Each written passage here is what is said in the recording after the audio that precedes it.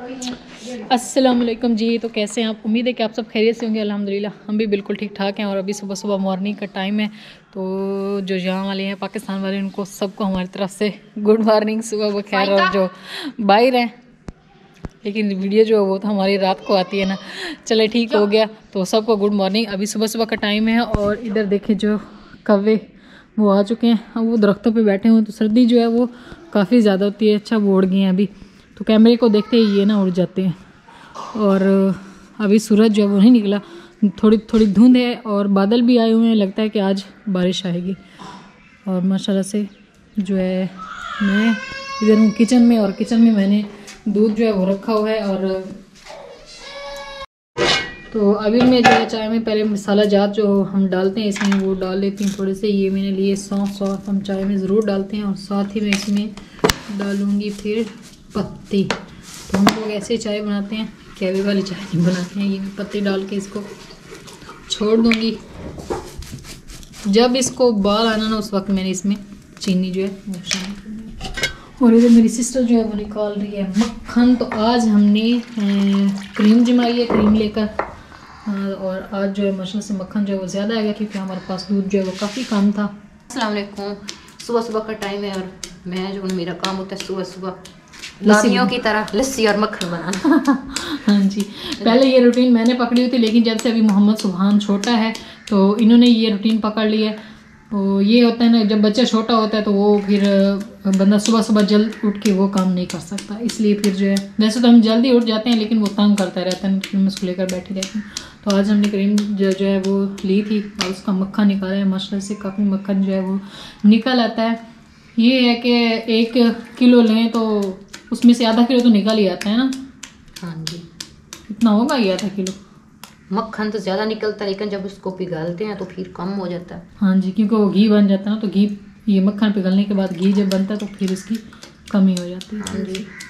इसमें से जो रस्सी होती है वो सारी ख़त्म हो जाती है ना फिर। अस्सलाम वालेकुम जी कैसे हैं आप सब? उम्मीद है कि आप सब ठीक ठाक होंगे। मॉर्निंग का टाइम है और मेरे मुँह से धुएँ निकल रहे हैं क्योंकि सर्दी काफ़ी हाँ ज़्यादा है।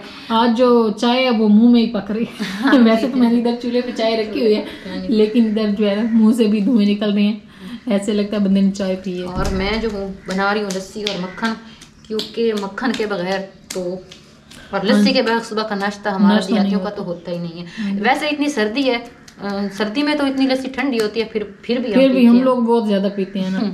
हाँ जी मक्खन मैंने बना लिया क्योंकि हमारे पास मक्खन जो वो कम था तो इसलिए फिर हमने क्रीम लेकर ये मक्खन बनाया क्योंकि हमारी भैंसें अभी इतना ज़्यादा दूध नहीं देती हैं।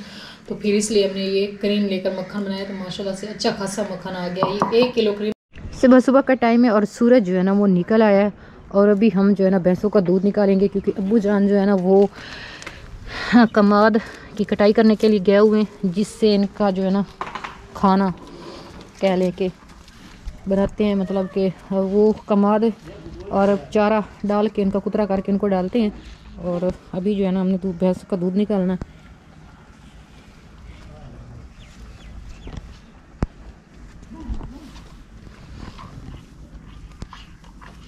अच्छा हमारी भैंस जो है ना, वो पहले दूध लेती है और उसके बाद हमें दूध देती है।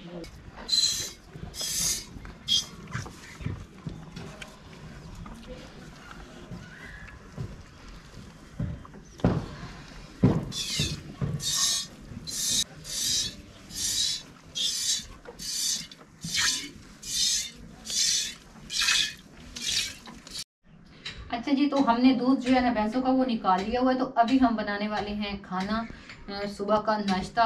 तो आज जो है ना हमारा नाश्ता बिल्कुल ही रवायती है मक्की की रोटी और सरसों का साग साथ में। हम सबसे पहले जो है ना आटा गूंद लेते हैं। बिस्मिल्लाह नमक शामिल करेंगे।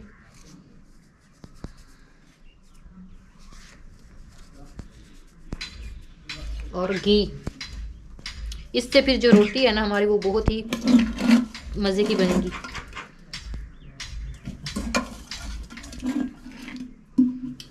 अभी घी जो है ना, वो आटे में मिक्स कर लेते हैं, क्योंकि फिर जब पानी डालेंगे तो फिर कोई मुश्किल नहीं होगी, और इसकी जो रोड़ियाँ हैं ना छोटी छोटी वो भी इसमें अच्छी तरह से मिक्स हो जाएँगी।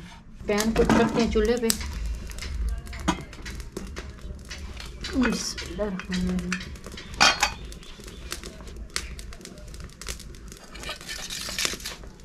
घी डालेंगे मक्खन।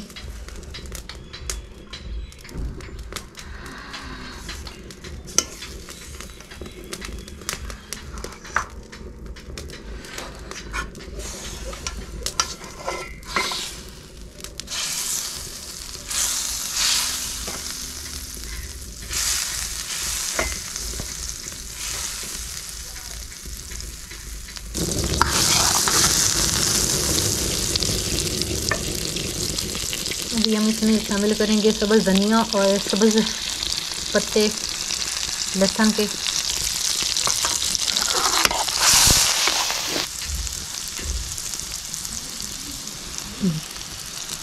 साग नाल शामिल करते हैं। माशाल्लाह से तड़का जो हमने लगाया है लहसुन और सब्ज़ धनिया का, बड़ी अच्छी खुशबू आ रही है और देसी मक्खन की।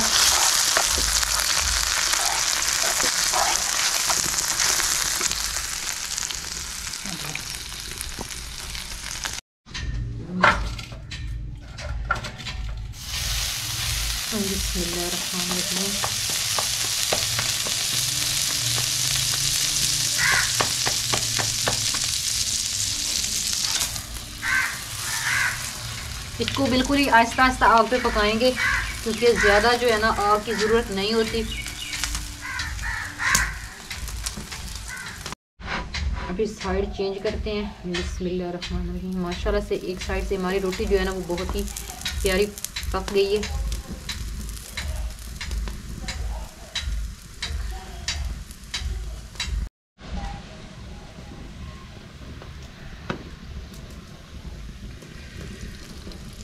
अभी इसके ऊपर लगाएँगे देसी घी।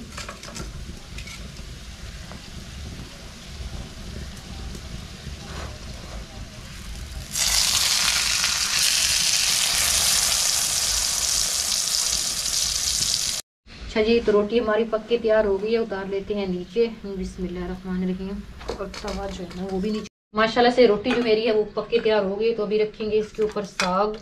माशाल्लाह से बड़ी अच्छी खुशबू आ रही है देसी घी की। और ऊपर रखेंगे मक्खन, क्योंकि जो फ्रेश मक्खन है, उसका अपना ही मज़ा है। और साथ में लस्सी। ये होता है हम देहातियों का रवायती खाना। लस्सी और मक्खन। उम्मीद है कि आपको जो मेरी आज की वीडियो है वो पसंद आएगी तो आपने मेरे चैनल को सब्सक्राइब करना है और मेरी वीडियो को लाइक और शेयर ज़रूर किया करें। मिलते हैं नेक्स्ट वीडियो में। दुआओं में याद रखिएगा। अल्लाह हाफिज़।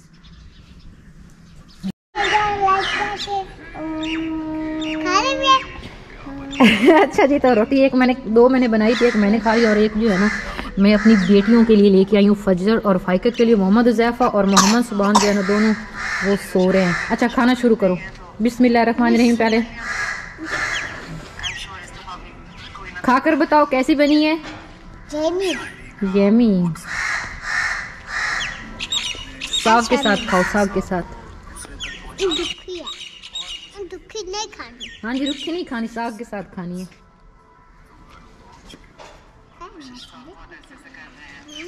वाओ। यमी आप भी खाओ फाइका।